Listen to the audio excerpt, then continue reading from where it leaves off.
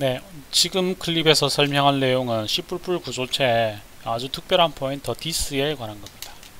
지난 시간에 작성된 소스를 다시 보도록 하겠습니다. 자, 여기서 보면 B 구조체 setAge 멤버 함수를 호출하죠. 그리고 B 값을 바꾸기 위해서 B의 주소를 전달합니다. this 여기서는 this로 받았죠.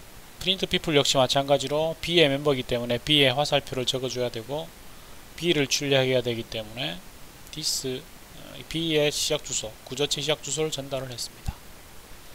자, 그런데 그런데 이렇게 멤버 함수로 호출하는 경우는 명시적으로 주소를 전달하지 않더라도 멤버 함수를 호출한 이 객체, 이 비구조체 시작 주소가 자동으로 print people 각각의 멤버 함수 setAge에 전달이 됩니다.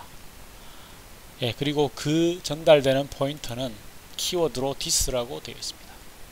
그래서 파라미터를 받지 않아도 자동으로 전달된 this를 그대로 쓰면 되기 때문에 이렇게 this로 대치를 해줍니다. setAge 역시 마찬가지입니다. this가 자동으로 전달되기 때문에 이 부분을 지우고 unders, this underscore 대신에 this를 써주는 거죠. 그러면은 print people은 더 이상 b를 파라미터로 전달할 필요가 없습니다. 자동으로 전달됩니다. 자 그러면 여기서 질문 하나 하겠습니다. print people의 인자는 몇 개입니까? 네. C에서는 0입니다. 하지만 멤버 함수인 경우는 지금은 1입니다. this가 자동으로 전달된다고 했잖아요. 그래서 그것을 thiscall이라고 합니다. 어, 저번 클립을 통해서 C의 함수와 C++의 함수가 다르다는 것을 봤었죠. 그러니까 실제로 overloading 때문에 C++에서 함수를 정의하면 함수 이름 그대로가 유지가 되지 않습니다. 함수 이름을 컴파일러가 이렇게 변경합니다. name mangling이라고 하거든요.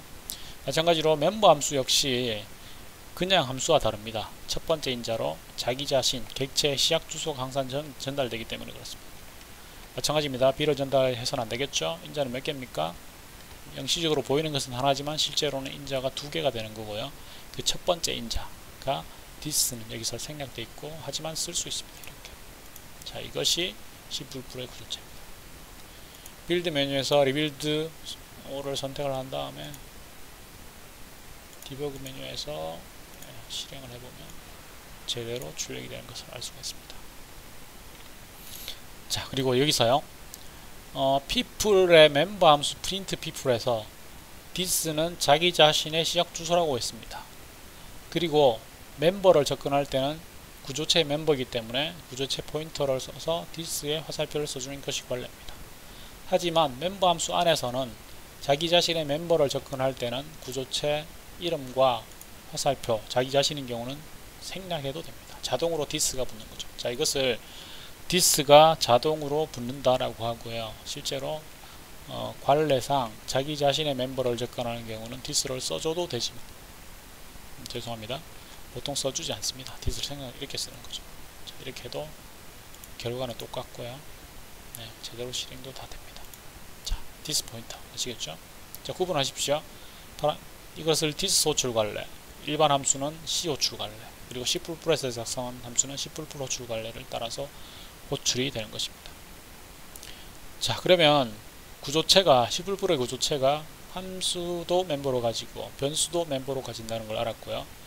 이렇게 멤버로 가지는 변수를 member variable, 함수로 함수를 멤버로 가질 때는 member function 혹은 뭐 property, method, 표준 뭐그 어, small script 같은 데서 method 이런 말을 씁니다. 하지만 C++의 표준 용어는 member function입니다.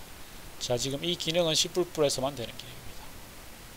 자, 이렇게 구조체가 멤버 변수뿐만 아니라 멤버 함수도 가질 때 이런 구조체를 클래스라고 합니다. 그래서 struct를 클래스라고 바꾸면 어, 되고요. 지금은 어, 접근 권한 문제가 있는데요. 지금은 자세하게 설명하지는 않겠습니다. 그 접근 권한 문제 때문에 접근 권한을 전부 다 public으로 바꿔줘야 됩니다. 자, 이렇게 바꿔주기만 하면 똑같이 되고요. 실행해도 문제가 없습니다. 자 지금 C 과정이지만 여러분은 C++에서 가장 중요한 클래스의 중요한 개념을 지금 익히게 됩니다. 하지만 지금 우리는 C 과정을 하고 있기 때문에 클래스를 쓰지 않고 그대로 struct를 쓰도록 하고요. 이 부분도 public도 생략을 해서 이렇게 사용을 하도록 하겠습니다. 자 그리고 어, 멤버로 함수를 가지는 구조체를 메모리 할당할 때는 U를 씁니다. 그러면 실제로 메모리 할당을 하고 생성자를 호출하는데 여기는 지금 생성자가 정의되지 않았기 때문에 호출되지 않고요. 딜리트는 메모리 해제하기 전에 바로 전에 파괴자를 호출하고 메모리 해제를 하는데 파괴자가 정의되어 있지 않기 때문에 역시 호출하지 않습니다. 생성자는 어, 아주 특별하게 정의된 멤버 함수고요. 파괴자 역시 아주 특별하게 어, 정의된 멤버 함수입니다. 자 이렇게 해서 구조체 설명을 마치려고 합니다.